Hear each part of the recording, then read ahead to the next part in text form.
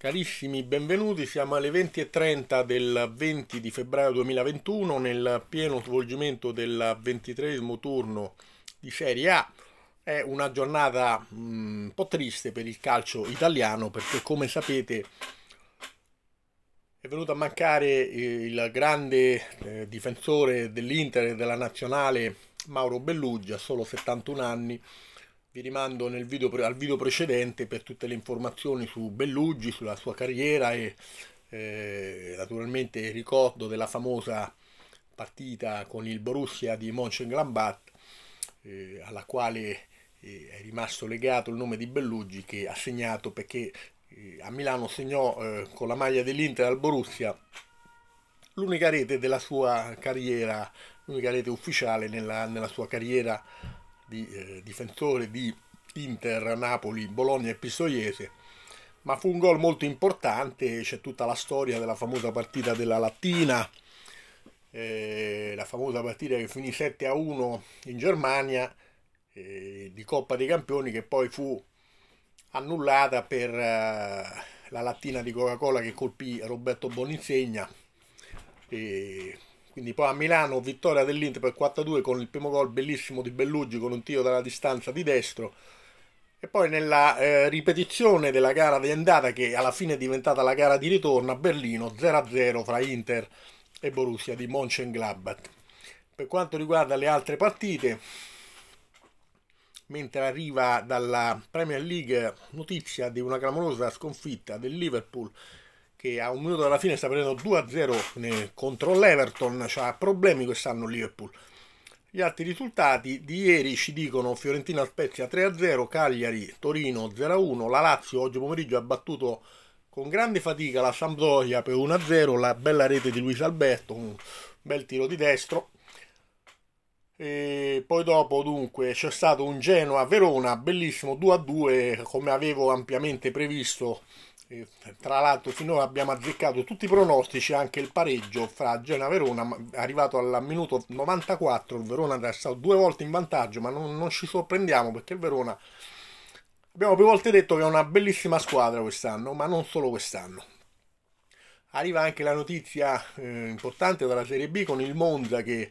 batte il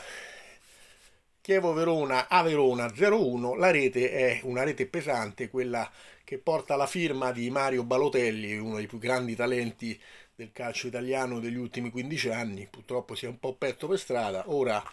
è in Serie B, e cercherà di riportare, probabilmente ci riuscirà anche, anche con i suoi gol, il Brianzolo in Serie A, il Monte ormai secondo a tre punti dall'Empoli, facendo un grande campionato, nonostante qualche battuta d'arresto un po' sorprendente. Ma eh, mentre si preparano a scendere in campo tra pochi minuti Sassuolo e Bologna per dare vita a un'altra partita molto interessante, prevedo un pareggio anche qui. Devo dire che oggi pomeriggio avevo invitato i cari spettatori, quelli che hanno la pazienza di seguirci, a mandarmi anche dei commenti via mail. La mia mail l'ho data a Fernando Bastoli, chiocciolaveggilio.it, la prima email che mi è arrivata. Saluto Giovanni da Catanzaro, se ricordo bene, o da Cosenza, mi vorrei sbagliare adesso che mi la prima cosa mi ha detto devi mettere ordine alle tue spalle perché in quella camera c'è un gran casino. Mi ha fatto veramente abbazzare dalle risate. Tra l'altro tu caro Giovanni non vedi quello che c'è davanti tu vedi solo quello che c'è dietro purtroppo. Noi che seguiamo tante cose insieme tendiamo a essere un po' a, a dir poco disordinati. Comunque farò tesoro anche de, de, del tuo suggerimento la partita di cui vi voglio parlare stasera è quella di lunedì, però ci portiamo avanti col lavoro. Partita dall'esito più che scontato, Juventus Crotone. E chiaramente si gioca alle 20.45, è il posticipo di lunedì. E credo che l'analisi tecnica di Juventus Crotone sia completamente inutile Stroppa naturalmente con questo materiale umano fa quello che può, adesso si stanno inventando del, del, del, delle modifiche, è veramente un'impresa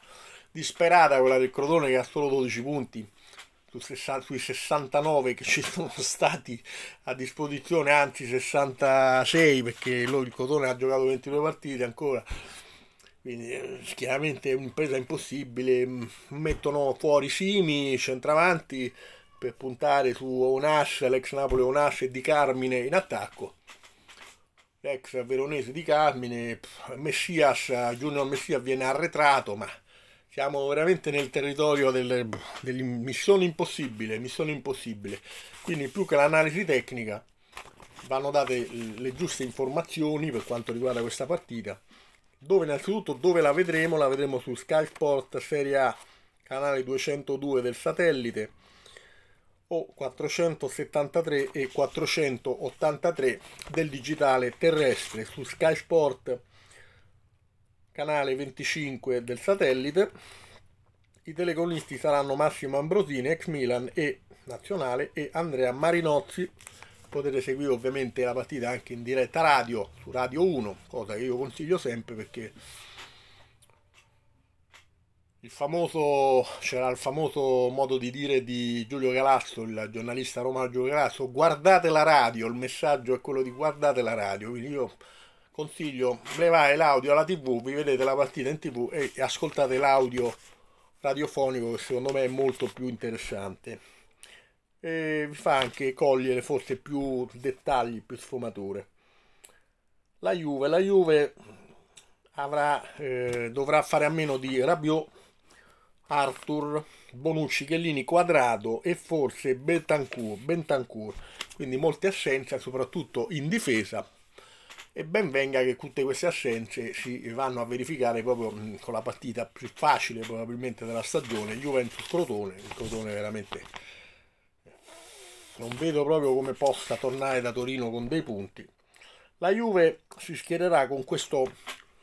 4-4-2 molto classico, molto tradizionale di Andrea Pirlo. Magari ci aspettavamo un, un Pirlo come allenatore un po' più qualcosa di un po' più elaborato, invece sembra che eh, il giovane allenatore bianconero ehm, dia più importanza alla qualità dei giocatori che allo schema 4-4-2 per Pirlo, si giocherà con Buffon fra i pali. La linea difensiva sarà formata da Danilo, da destra a sinistra, Danilo, Demiral, Delict e Frabotta, quindi una linea difensiva che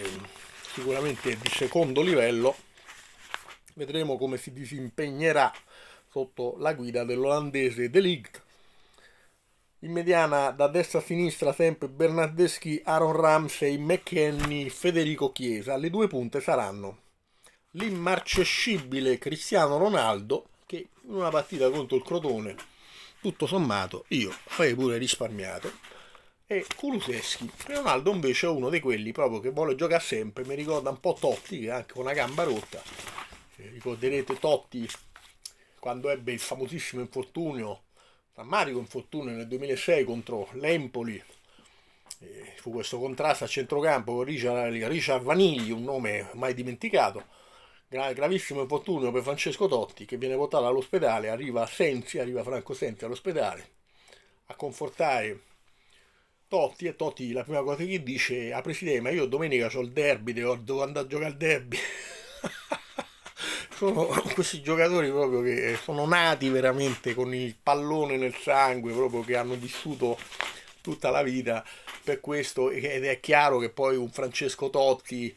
eh, ha sofferto il distacco da questo mondo al punto che gioca ancora eh, nel calciotto, come sapete ha una, una squadra di calciotto, eh, è stato veramente gestito in modo pessimo nel finale di carriera Francesco Totti dal mese Spalletti o niente me lo leva dalla testa. Era un ragazzo che aveva voglia di giocare ancora una stagione era un ragazzo che si poteva gestire tranquillamente anche facendoli giocare gli ultimi 20-25 minuti magari neanche di tutte le partite ma è andata così e purtroppo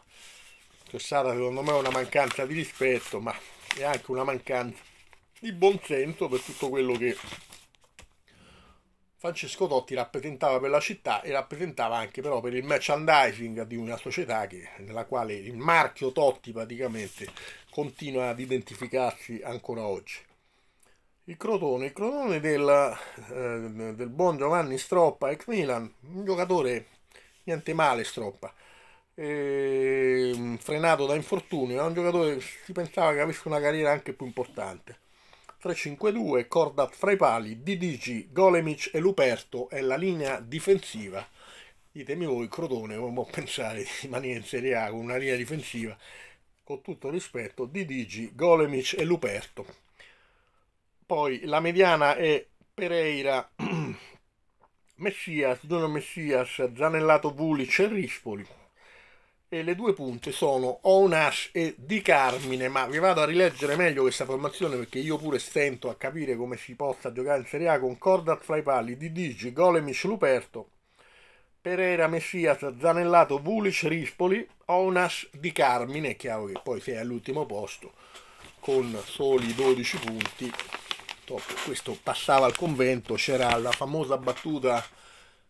dell'allenatore della Lazio Lorenzo si chiamava, pare che se non ricordo male, che eh, chiedevano lumi su eh, la formazione che aveva fatto, lui disse ragazzi io questi tengo, io questi tengo, cioè questi sono i giocatori che ho e più, più non posso fare, cioè, alla fine era una battuta che diceva la grande verità. Il Crotone viene da quattro sconfitte consecutive, peggior difesa del campionato, e dicevamo appunto poc'anzi, con 52 reti al passivo, 23 i gol fatti, non è neanche il peggior attacco. Dalla parte opposta la Juve ha la miglior difesa con soli 19 gol in 21 gare. Perché 21 gare? Perché la Juve deve recuperare la partita con il Napoli, quindi la Juve ha 21 gare, la 22esima sarà questa con il Crotone, la 23esima sarà il recupero Juventus-Napoli, la famosa partita che saltò causa Covid, causa il maledettissimo Covid. E inizialmente fu dato 3-0 a tavolino alla Juventus, poi il giudice sportivo ha optato per la ripetizione della partita. Quindi la Juve eh, ha il, oltre alla mia difesa solo il quinto attacco fino a questo momento, 41 reti. Pensate che l'Inter ne ha già segnate 54. Cristiano Ronaldo deve ancora, secondo me, entrare in forma al 100%, anche se è stato decisivo in alcune partite, come ad esempio la partita di Milano contro l'Inter nella semifinale d'andata eh, in Coppa Italia, ma ripeto, Ronaldo è un giocatore che ti gestisce così, vuole sempre giocare, stragiocare, strafare, strasegnare, quindi continua a giocare, va bene così, evidentemente il suo fisico glielo permette. Quindi pronostico per quanto riguarda questa partita vi rileggo ancora la formazione della Juve perché è una formazione un po' nuova, un po' inedita Buffon, Danilo Demiral, Delict Frabotta, il giovane Frabotta, Bernardeschi Ramsey, McKenny Chiesa e eh, Ronaldo con Kuluseschi, non c'è veramente pronostico, quindi nelle prime posizioni della classifica rimane quindi al momento l'Inter con 50 punti, Milan 49 che si incontrano domani pomeriggio in un interessantissimo Milan-Inter, io ripeto prevedo il pareggio, prevedo il 2-2 precisamente, poi Roma abbiamo detto 43, Juventus 42, quindi la Juventus battendo Crotone e eh, il Napoli nel recupero, cosa possibile, sarebbe addirittura a 48 punti. Napoli e Atalanta che si incontrano domani 40, mentre la Lazio è andata battendo la Sampdoria 43 e bisogna dire che anche la Lazio zitta zitta sta disputando un ottimo campionato eh, nonostante la sconfitta nell'ultimo turno 3-1 a Milano con l'Inter che chiaramente pesa molto su questa classifica che ha proiettato l'Inter tra l'altro in testa al campionato. Tra un minuto in campo Sassuolo-Bologna, partita che promette tanto spettacolo e tanti gol. Il Sassuolo di De Zerbi una squadra che gioca a viso aperto, che intanto mi sta arrivando la notizia che il capolista nella Liga Spagnola Atletico Madrid ha clamorosamente perso in casa 0-2 con il Levante, una squadra di metà classifica, grossa sorpresa per la squadra guidata in attacco da Luis Suarez. Anche questo è successo nella giornata di oggi. Poi domani, 21 febbraio, si comincia con Parma Udinese alle 12.30, alle 15 Milan-Inter, e poi c'è Atalanta-Napoli interessantissima alle 18 e alle 20.45 Benevento-Roma. Quindi vi ricordo i miei pronostici personalissimi: Parma Udinese 1, Milan Inter X, Atalanta Napoli 1, Benevento Roma 2. Vediamo se li indovinerò, mentre sono molto sicuro di indovinare. Juventus Crotone del 22 febbraio si comincia alle 20.45. Vi ricordo dove vedere questa partita.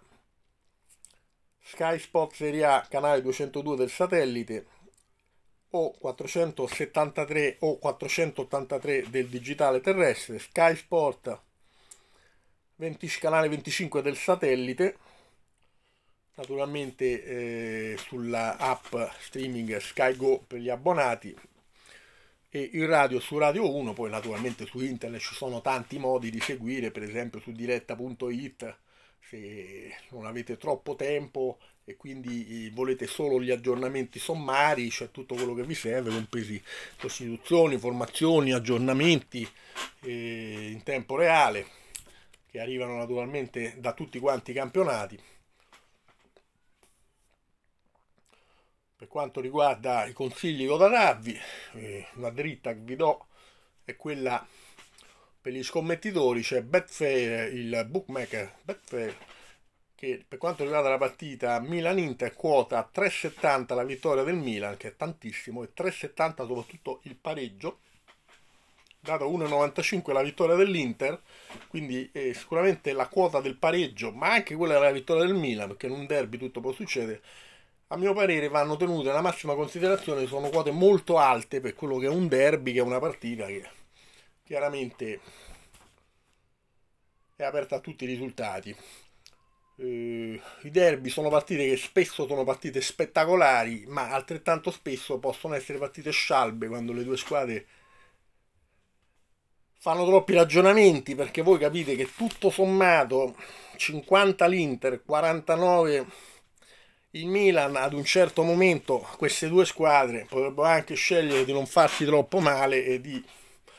con un bel pareggiotto mantenere le posizioni perché un punto è un, qualcosa che si può recuperare con grande facilità. Tra l'altro il Milan nel successivo turno deve andare a Roma a giocare una partita con la Roma che è molto insidiosa. Comunque vedremo se, fa, se